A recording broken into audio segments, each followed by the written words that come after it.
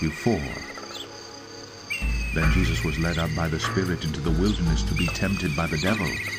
And after fasting forty days and forty nights, he was hungry.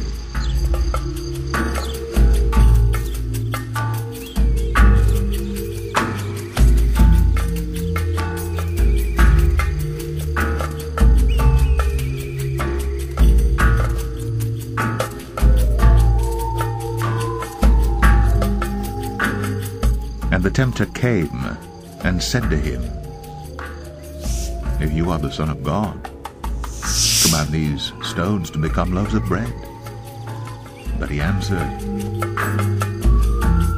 It is written, Man shall not live by bread alone, but by every word that comes from the mouth of God.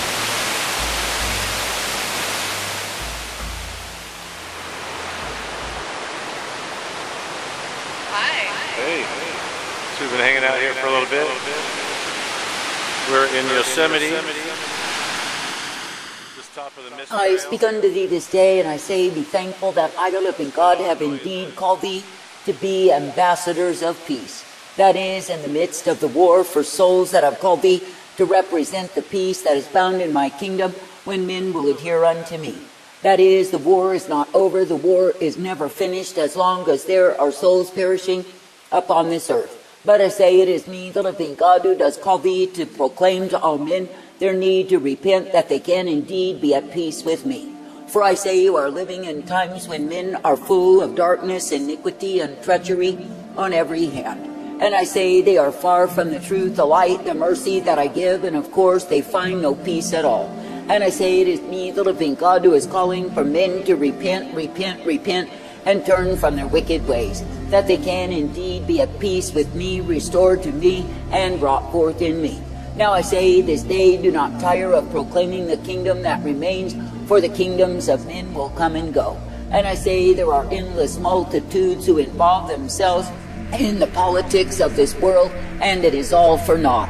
For I say, when it is finished and a man will stand before me, it is not how wise he became in politics and the game of the same. But I say it is what he has done for me, how he has lived for me, and what it is that he's yielded to me. Now I say this day, why not store up the treasure that is eternal, that will bring thee everlasting life? That is, why not be faithful each day to labor for me to be ambassadors of the kingdom that does remain? For I say, when men are breathing out their threatenings, when they are indeed showing their might, and how fearful they are, I say, consider this. Consider that it is me, the living God, who is higher than all men, and they are fools before me. Now I say this day that I, the living God, do not call thee to tremble at the threats of the wicked, no matter how high the power is that they think they have.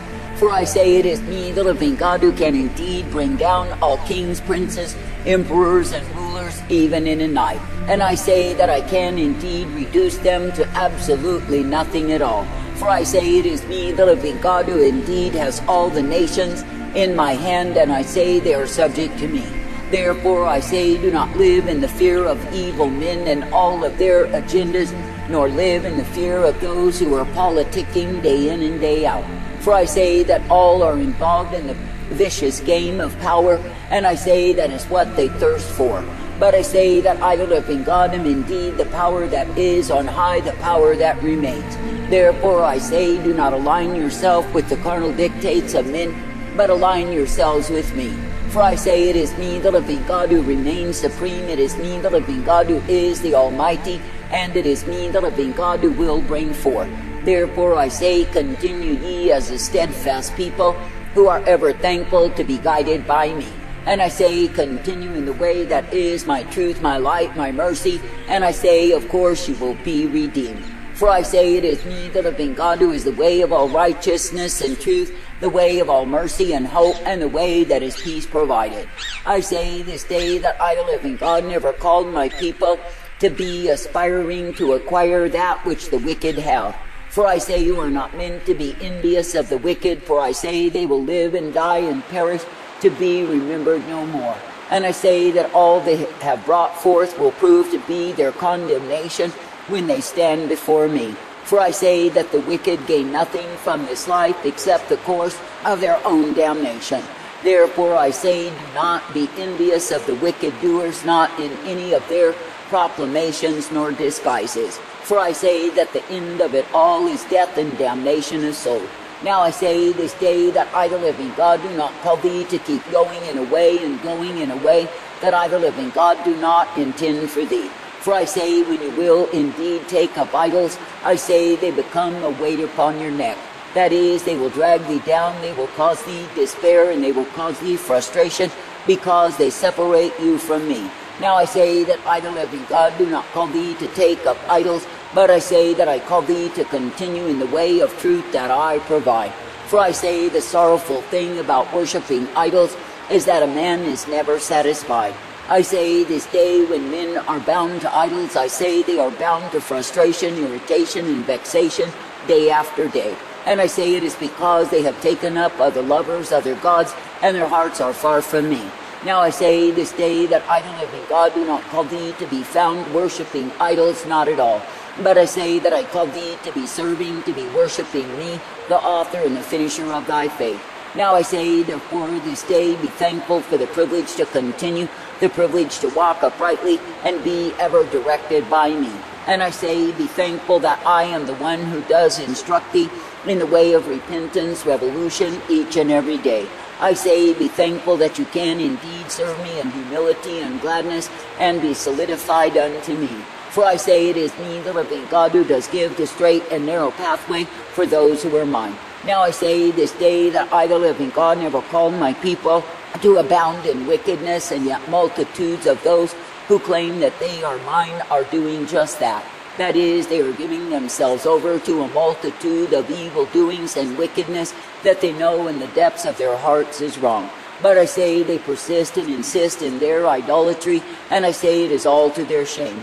For I say, through it all, they cannot be my ambassadors of peace in the midst of the war, for I say they are not at peace with me. So I say they go and make false peace with the world, they align themselves with wicked doers, and oh, what a show they put on.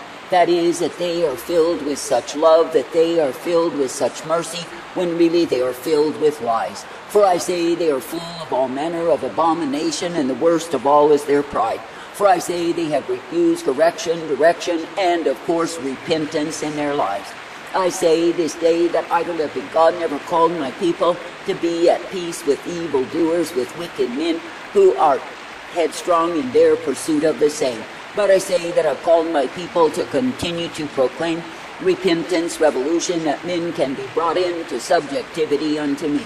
For I say that indeed my love is a conquering force, and when men will bow unto me, then I say they are conquered for the kingdom that does remain. That is, they are brought forth the subjects of my kingdom, and I say they receive the blessedness that I provide. But I say when men will stubbornly, proudly persist and insist in their own way, then of course they are taken far from me. Now I say this day that I, the living God, do not call thee to be taken far from me, but I say that I call thee to come forth in me. That is, I call thee to be uplifted, directed, and ever guided in my way. And I say that I call thee to be thankful that it is me that you can continue to look unto and believe. For I say, when you've aligned yourself with me, then I say you are found in truth. But I say, when you've aligned yourself with the deception of your own conception, of course you are living in lies. I say this day that I, the living God, do not call thee to be as the compromisers, the ones who are satisfied in their complacent sludge that they live in. For I say, while they think if they compromise with the enemies of my purpose, then they will keep their safety, I say they are deceiving themselves. For I say, when the day of my wrath is revealed, they will find they have no safety at all.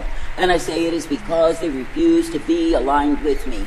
Now I say this day, be thankful that I give to thee the truth and the light, the mercy, the hope, and the peace day by day. And I say, be thankful that I purpose thee, that you can indeed be brought forth, ever rejoicing in me. That is, make glad for the truth, the light, the strength that I give each and every day. And I say, be glad that I purpose, direct, and guide thee forth, for yes, indeed, you are mine. Now I say this day, do not be hasty to align yourself with enemy forces, to align yourself with darkness and evil, but I say, be ever walking circumspectly with me. For I say that the enemy will use so-called innocent lures to bring you in. That is, to bring you into a nest of devils that will seek to overwhelm thee, devour thee, and cause thee great despair. But I say you are not meant to be lured in, but I say you are meant to see that the worm on the hook is not for thee. That is, you are not meant to be so gullible that you swallow the very thing that will take you into death. I say this day, bring all things into my light, be subject to me, and be brought forth in my way. For I say, when you will indeed be subject to the truth, the light, the strength that I provide, then you are ever guided forth by me. And yes, you are given the truth, the light, the blessedness, the strength of who I am. For I say that I, the living God, will not cease to give the same unto a people who are ever subject unto me. That is, I will not cease to bring my people forth in the truth, the light, and the mercy that I provide. Now I say, therefore, this day be glad for the privilege to keep on serving. Be thankful for the way that I give thee time and again. And I say, when you look upon what it is that I, the living God, will do for thee, then I say, be rejoicing in me. For I say, it is me, the living God, who will never cease to guide thee forth as you continue to trust, to hope, to believe upon me. And I say, it is me, the living God, who will direct thee and correct thee and show thee the way that is eternal life. Now I say, therefore, this day be glad for the privilege to keep on trusting, to keep on believing and following after. And I say, be thankful that when you will indeed be walking in my way, it is the straight and narrow way that leads to eternal life. But I say, when any will deviate to the broad way, I say they are embracing the way of lying, deception that will take them into hell. And I say they are embracing sin rather than righteousness, and they will be taken down by the same. Now I say there are men who start out to sin and think they can handle it, that it will not take control of them. But I say when you see them in the end, they are quivering, they are muttering, they are stuttering, and they have no peace with me. And I say they are full of the reaping of what it is that they have sown in sin, and I say it is a terrible sight to behold. For I say there are many who live out their days in the wretchedness of sin's retribution in their lives. Now I say this day when it is all over and done, if they have failed to enter into repentance, revolution, I say they die in misery and perish likewise.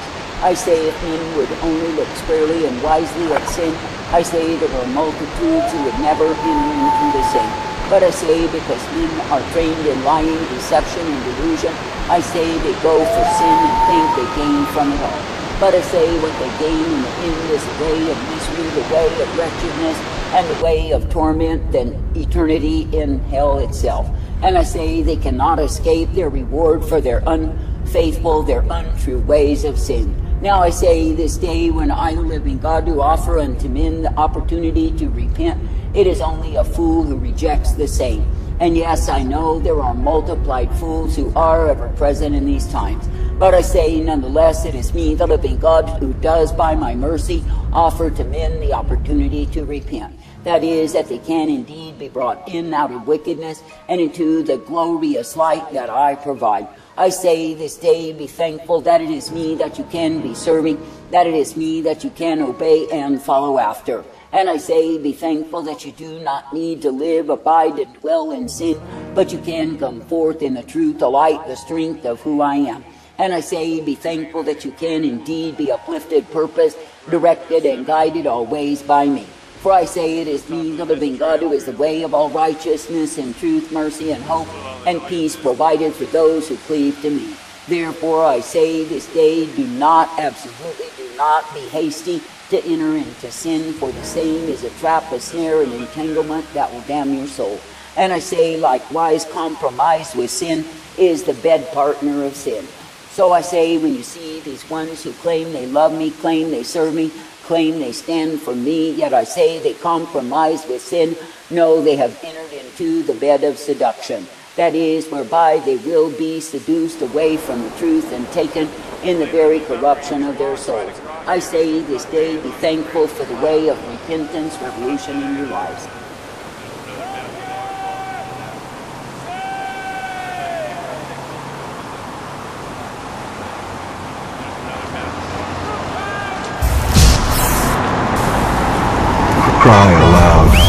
Not hold back. Lift up your voice like a trumpet. Declare to my people their transgression, the house of Jacob their sin. The times of ignorance God overlooked, but now he commands all people everywhere to repent.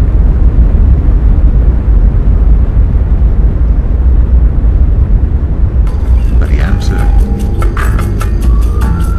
It is written, Man shall not live by bread alone, but by every word that comes from the mouth of God.